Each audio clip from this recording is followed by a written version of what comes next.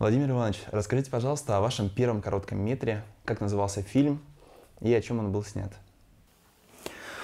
Ну, строго говоря, у меня было их три. Вот. Но если на мой выбор, то это мой дипломный фильм на высших курсах. Угу. Вот. Назывался он экзотически. Ну, как назывался? Так и называется и теперь. Он называется «Голос дракона в бездонном море». В общем, это любопытный был проект. Это э, я снимал как бы заявку для полнометражного фильма о Ерофее Хабарове. Угу. Сама все фантастическая история, плюс была любопытная очень идея. И с китайцами даже переговоры вели. Попытаться найти компромиссный сценарий, устраивающий китайцев и нас, скажем. Mm-hmm. Потому что ну, там противостояние было Манжуров и Хабарова. Вот. И снимать одно и то же. А потом кино искусство монтажа, как известно. А потом в монтаже вот сделать две вот картины, две разные точки зрения на один и тот же процесс. Вот. И эта вся затея, она так двигалась, и все, я с МИДом общался, потом меня наконец вызывают в МИД, когда уже так это на что-то было похоже. Вот, и говорят, нет, с китайцами отношения ухудшились, все. Угу. Это практически сегодня невозможно. Но это все будет потом. Это я собирался вот сделать такую заявку на фильм. Вот. Конечно же, тогда было увлечение черно-белым кино. В общем, ну, скажем так, тень Андрея Рублева висела. Над всеми студентами? Над всеми, над всеми, над многими. Вот. И, и, в общем, это и не только, и еще цветные, с цветными такими вот фрагментами. Вот черно-белое кино в сочетании с цветным. Ну, мода такая. Mm-hmm. Это буквально, можно сказать, мода. Э, ну да, естественно, искалась содержательная часть всего этого, но мода. И вот, в общем, в этом смысле эта картина «Голос дракона» в тренде, потому что она черно-белая. Я считаю ее стильной до сих пор. Она стильно снята. Там стильно сделаны декорации. Ну, мы же тогда в определенном смысле жили по сравнению с сегодняшними э, ребятами, ну, не в тепличных, тепличных никогда у нас не было, но в благоприятных достаточно условиях, потому что на студии был бюджет, вот. Была студия, которая меня отправила на высшие курсы, поэтому они мне предоставили возможность собрать и группу. Я фактически на этом фильме собрал группу, с которой я потом долго работал. А, если не секрет, сколько человек входило в съемочную группу, а сколько длился, а, в принципе, съемочный период и, может быть, какой-то бюджет? Как ты понимаешь, Может, бюджет я знаю. Бюджет я точно знаю. бюджет был, по тем временам это деньги были приличные, 50 тысяч рублей. Угу. А если перевести сейчас, это примерно сколько? Это примерно сколько? Ну не знаю, я буквально же перевод это бессмысленный, угу. но это были вполне приличные деньги, на которые можно было построить декорацию, повести угу. съемки на натуре, сделать костюмы.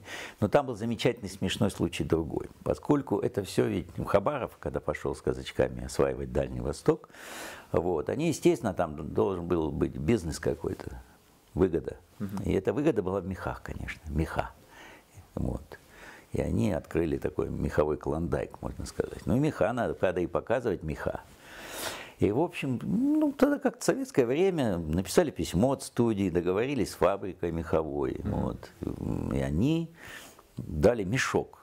Приносят мешок мехов. Очень выделка роскошная, разнообразный, и чернобурка тебе, и соболя. Mm-hmm. Вот такой мешок огромный с мехами. Они, причем бесплатно, они не взяли за это денег, ничего, они дали на прокат. Ага, ага. Вот, но это все-таки, там сумма была чуть не равна бюджету, я бы так сказал. Это там на какие-то бешеные деньги было этих мехов. Вот, и значит, ну, а где хранить? Студия сказал, нет, нет, нет, мы на себя ответственность такой не возьмем, мы хранить не будем, зачем нам этот геморрой? Вот, и тогда оператор был, э, меня, он говорит, ну, давай я возьму. А я сначала даже не понял, почему он вызвался. Вот. А он принес домой и жену в мехах стал фотографировать. Он фотограф был, хороший оператор, замечательный, Борис Шапира. Вот. И, значит, фотографировал жену в мехах, все. Потом наступила ночь, и им стало тревожно слегка. Тогда железных дверей не было.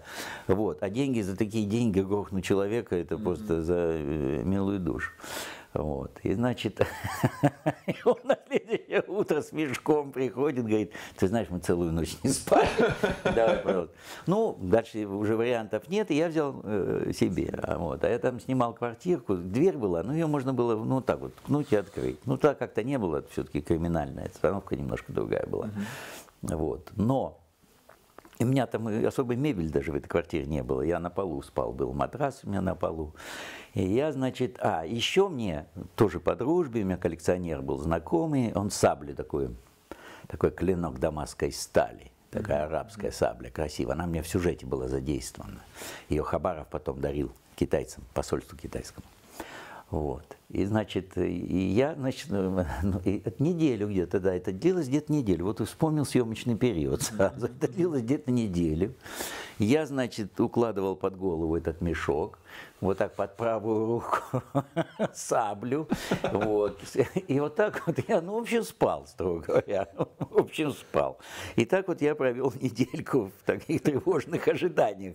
Потому что, ну, это, очень большие деньги. Ну, машина 5 тысяч стоила, представляешь? Это, это очень приличные деньги. Значит, Благо сабля была под да. рукой. И понимаешь, вот да, ну я был готов защищать и свою жизнь, и меха. А с утра приезжала машина, я грузил на студию. Ну, это красиво получилось. Она, правда, картина красивая. Она вот, э, я до сих пор же люблю, да кто не любит черно-белое изображение. Вот. И цветные ставки там работают хорошо, потому что там есть такой момент, когда Хабарову докладывают, что приехали китайцы. Он ни разу не видел, что за китайские китайцы. Вот. И там его вдруг выскакивает, там они поссорились, он выскакивает на улицу, и вот после черно-белого такого изображения, жемчужного, это такой цвет, и они как райские птицы сидят, там три китайца, вот, китайцы, и они как райские птицы. В общем, это было обосновано, то есть впечатление безусловное такое, вот. Но, ну я не знаю, не, не хочется вроде сюжет рассказывать, но там, в принципе, сюжет с интригой, потому что это все я в финале получил кадр, ну ладно, я все равно скажу. Потому что этот кадр мне делали тогда на Свердловской киностудии, мы дружили, ну там мы все там вместе были. Вот это очень важное качество. Мы там все аниматоры, там же аниматоры сколько, Питкевич, Петров, mm-hmm. ныне оскароносный, вот, Оксана Черкасова. Вот. И мы с ними дружили, мне надо было финальный кадр сделать. Ну, тогда не было компьютерной графики, по мини. Вот, это 82 год на дворе. 82 год. И мне нужно было сделать кадр, как вот этой саблей, так разрубает лицо, так, разрубает лицо там, персонажу, другу Хабарова. Он так падает, и сначала ничего не видно. Снег, это в свете все идет. Угу. И жить так сидит, он говорит, и кровище, этот шрам – расходится. Красный, да. Да, и кровища такая. Тогда такого кадра. Мне на Мосфильме выдающиеся режиссеры подходили спрашивали, как ты снял? Тогда на, на просмотр пришли, тогда смотрели, тогда режиссеры друг друга смотрели. И даже взрослые режиссеры смотрели, и меня этим вопросом, как ты снял? Как ты снял этот кадр? Ну, тогда это было невозможно просто совершенно. А это как ну, практически финальный такой кадр. Вот. Но снимали мы его часа два с половиной-три. Гарик Леонтьев играл человек, и зажали в тиски, и аниматоры рисовали по кадру. То есть это была покадровая съемка, это была анимация. Он два с половиной часа. Но он, конечно, не мог так бесконечно, поэтому... Но возникло такое подергивание судорожное. Вот. И, в общем, это даже улучшило эффект, ага. нежели бы он вот спокойно просто лежал. И они вырисовывали вот по капельке, Молодец. по свой шрам этот, и они вот два с половиной часа все рисовали. Ну, тогда это, это было так этим интересно заниматься. Звуки, все такая ручная работа. Вот каждый звук, вот в храп коня, скрип седла, вот, это все там. Стрелу даже, я полет стрелы, я, я даже делал так, то есть в фильме ваш А потом, буквально... значит, да, у меня не было, название было какое-то другое, но я к этому времени попал в Хабаровск и стоял на берегу Амура, и там был Китай. Я какое-то чувство такое испытал. Какое-то такое энергетика оттуда идет. Я хотел это передать как-то. Вот. И я тогда в редакцию вещания на Китай думаю, найду музыку китайскую, поищу китайскую музыку. И я дня два-три там сидел, отслушивал бесконечные китайские эти всякие музыки, оперы. И вдруг вижу, ну они мне дают там список, и вдруг вижу название. Голос дракона в бездонном море исполняется на инструменте цинь. Это струнный инструмент такой. Я думаю, ну, ставлю, и я понимаю, что это музыка из моего фильма. Я не знаю, что было сегодня по правам, но это музыка пятого века. Это музыка пятого века. Теоретически я мог ее попросить исполнить, там, мне же китайцы в конце концов озвучивали, все, студентов нашли китайцев. Ой, мы так работали над этой картиной весело. И я потом так и назвал, мне понравилось название. «Голос дракона в бездонном море». Но нужно было получить этот звук. Вот мы с звукорежиссером, значит, вот, я там, этим все мы занимались, это же было интересно, жутко. Вот как получить вот звук, я говорю, Витя, мне нужно что-то такое, как будто дракон в глубине где-то шевельнулся. Он притащил трубы, такие шланги разные, мы бочонок воды, микрофоны туда-сюда. И мы продували этот вот, вот Фура! И вот этот бульк потом замедляли, и действительно, понимаешь, да, вот этот пузырь, да. долго-долго, вот, и потом это замедляли. И, кстати, я первый, потом вот Линча это было в обратную сторону, прокрученная фонограмма. У Дэвида Линча это потом было. Вот, э, в огонь иди со мной. Там вот, э, я не говорю, что я там, э, но я точно первым это сделал. Я пропускал обратно фонограмму. Угу вот. То есть актер говорил обратно текст, а потом его ставили впрямую. Понимаешь, да, какой-то неестественный. А эффект такого вот, ну как у Дэвида Линча, вот ну в этом самом вагоне иди со мной, у него этот карлик разговаривает. Понимаешь, да? Актер произносит наоборот слово. Угу. А мы его пускаем потом в обратном И у него с искажением получается И речь. получается такое странное. Ну, в общем, короче говоря, это была такая замечательная школа, вот угу. в конечном счете. Столько удалось попробовать разных вещей.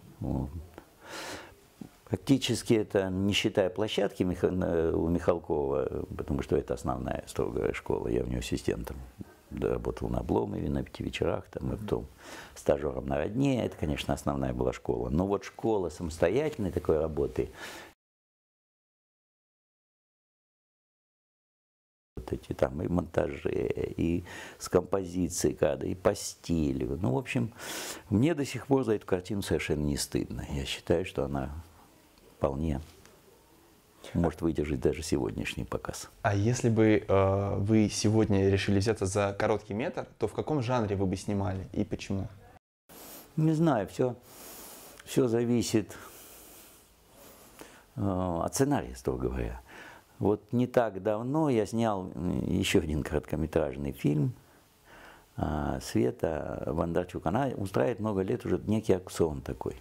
Mm приглашаются известные режиссеры, они могут снять все, что угодно, именно короткий метр.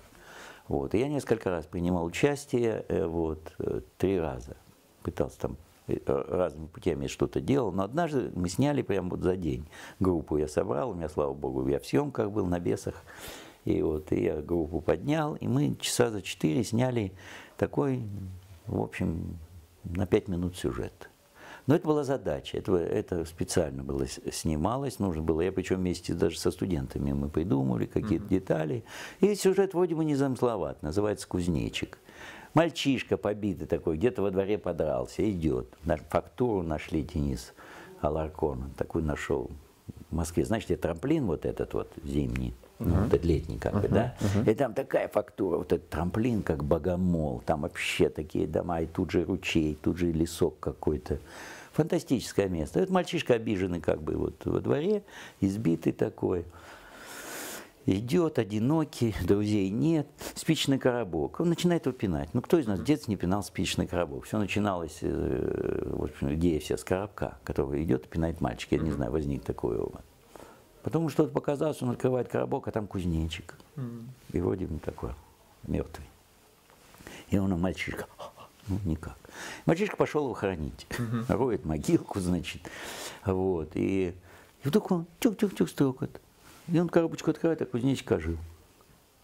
И он, и все, и мальчишка этот, кузнечка, это варежку, у него одну варежку порвали, знаете, на, на висюльках варежки. Вот. И у него друг появился. Вот такая история про то, как мальчишка, у мальчишки появился вот друг, вот этот кузнечик. Идет счастливый пацанчик, у него варежка болтается, там сидит кузнечик. Вот это вот, э, не могу сказать последнее, может еще когда-нибудь что-нибудь сниму. Это вот такая моя, последний опыт, скажем так, работы mm-hmm. короткометрой. Но я говорю, тут все зависит от того, должна быть какая-то история.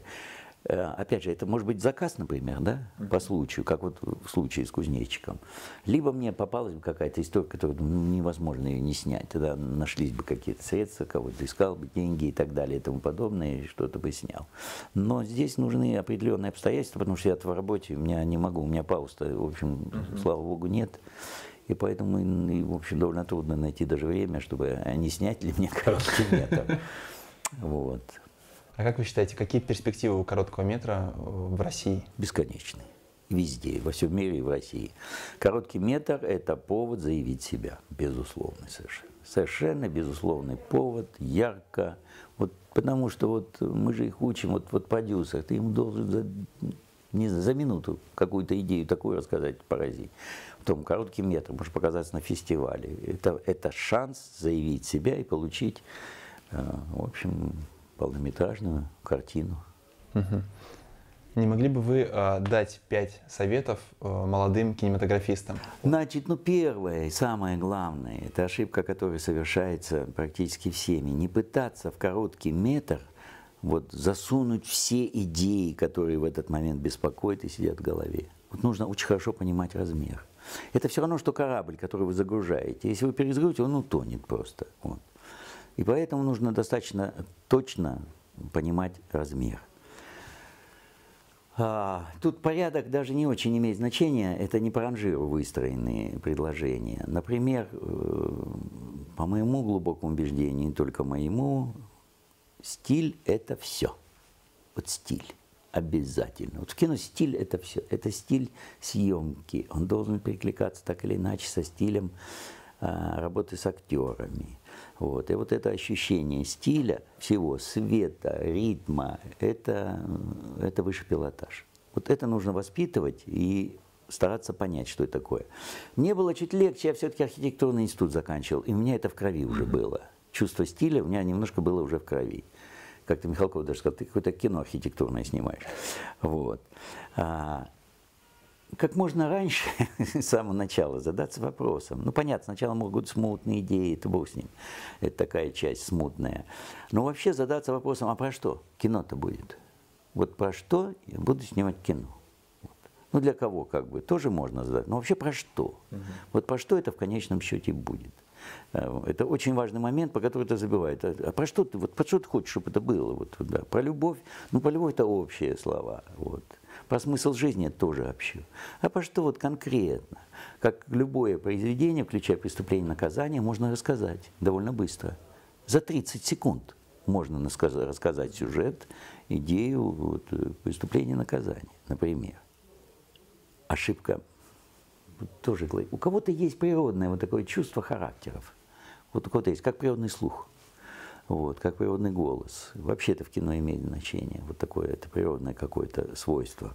Но обязательно работа над характерами. Вот обязательно. С актером сесть, я до сих пор этим занимаюсь, приходит мне хоть Маковец, хоть Миронов, хоть, хоть кто.